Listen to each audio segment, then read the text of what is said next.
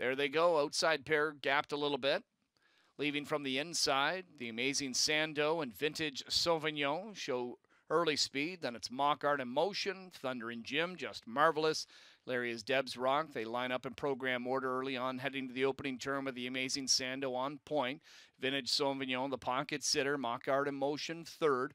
McNair and Thundering Jim unhurried early from fourth, followed fifth by Just Marvelous, trailer sixth. Larry is Deb's Rock.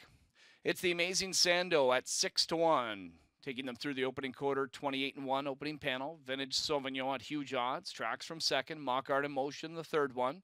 Then Thundering Jim, the 1 to 5 favorite. He gets his cue now as they straighten up in the backstretch, and McNair calls on him for his backstretch move. And here comes Thundering Jim. He's up to third, now second, and after leader, the Amazing Sando. So the Amazing Sando, I'm sure you'll let him go without a tussle as they head up to the midway point, and Thundering Jim will clear.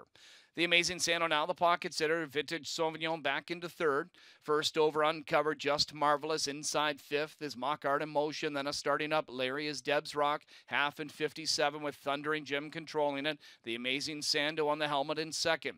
First over third, just marvelous as he stalls a bit. Then Vintage Sauvignon inside of him. Larry is Deb's Rock and trailer inside Mockart in motion. Thundering Jim opens up two on pocket setting the amazing Sando to three quarters in 125. And they straighten up and they chase Thundering Jim. He drifts in the stretch. The amazing Sando is going to try and take the opportunity and re rally if he can, but Thundering Jim is still clear by a couple. It's Thundering Jim, although down the center of the track, he's got the lead. The amazing Sando tries to close, but McNair will hold sway here with Thundering Jim. He'll continue to win, and he'll win rather comfortably. Two lengths clear of the amazing Sando. Mock Art Emotion up for third, fourth to Vintage Sauvignon. It is Thundering Jim in 152 and 3.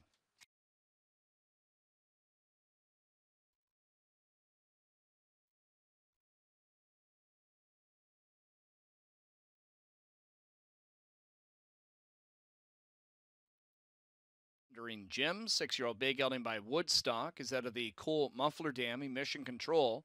Winning owner is Brenton Harris. Richard Merle, the winning trainer. Doug McNair, the winning driver.